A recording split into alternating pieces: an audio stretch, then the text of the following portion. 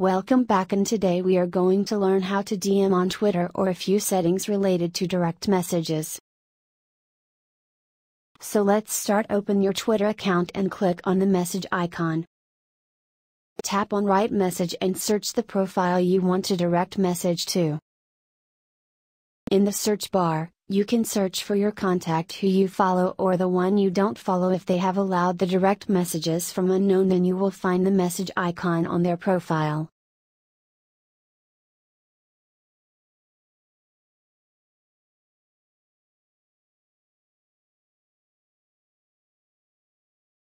And you can text them, you can use GIF and smiley as well for your conversation.